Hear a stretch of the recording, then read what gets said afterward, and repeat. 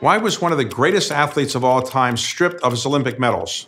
Jim Thorpe could do it all. At the 1912 Summer Olympics in Stockholm, he won gold in both the pentathlon and the decathlon, becoming the first Native American ever to win Olympic gold. But despite representing the United States, Thorpe, as a member of the Sac and Fox Nation, was not recognized as a U.S. citizen.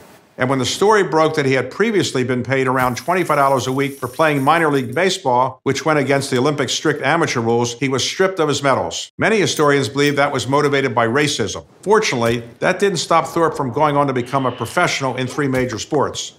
Supporters and activists campaigned to reinstate his Olympic medals and his reputation.